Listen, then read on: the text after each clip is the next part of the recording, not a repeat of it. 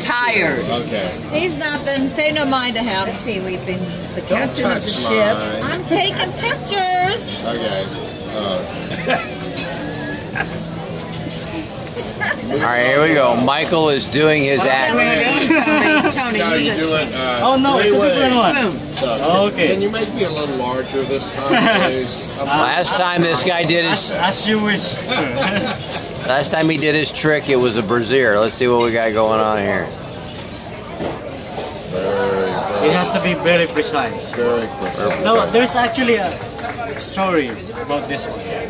There's a uh, pilot, a aeronautical engineer, and he has a uh, thesis to make this uh, an airplane or something like a flying object, and he wants to perfect it. That uh, on that day he demonstrate how it will lift up. So what he did is he took the illustration board, cut it into half.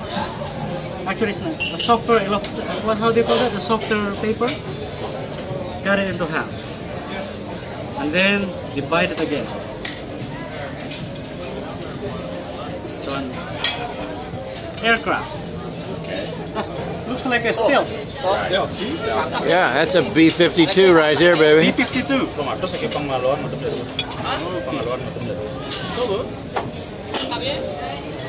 Less aerodynamic. Yes. Okay. I think I have a very, very hard. uh, video later on after this.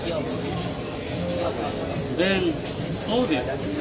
Went to the uh, runway. Doesn't Went to the runway and tried to test this, Here it's coming. It's coming. Here it comes. this, if it will lift or not. Oh, I think this is X-rated. it's an It's. X-rated B-52 right there. That ain't no brazier, my I friend. have this type of reaction on you. Oh, he's